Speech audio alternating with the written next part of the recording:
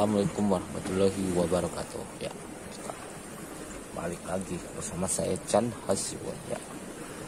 Dukung terus channel ini dengan cara like, komen, dan subscribe. Saya mau ganti umpan pancing dulu. Ya kita pakai umpan ikan lajang